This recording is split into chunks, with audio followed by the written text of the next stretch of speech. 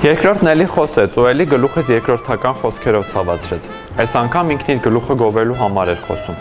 Ասում էր, թե ես ինչքան լավ եմ ապրել առաջ, ինչ հաջողությունների եմ ասել։ Երկրորդ ջան, ինձ մոտ հիշողության հետ խնդիրներ դեռ չկան։ Այդ մի արցում գոնե լավ եմ ու լավ հիշում եմ իմ վիճակի այդ ժամանակ։ Նույն օրին էի էլի, Եթե քո ասացի պես լավ լինեի, հազարներով փողոց դուրս չէի գա, գոհ ուրախ կապրեի։ Ավելի լավ է դու գնա մարզնի, որ 70-ում ավելի շատ բաներ կարողանաս անել ես իմ դարդերով մի կերպ կապրեմ։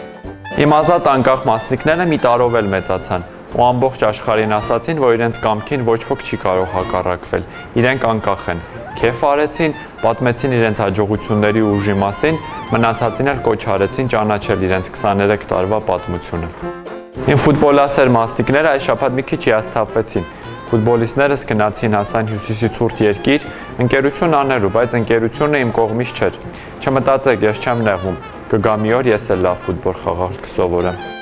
Մի ուրիշ ցուրտ երկրում էլ հանդիպեցին իմ ու ագրեսիվ հարևանի սասպետները։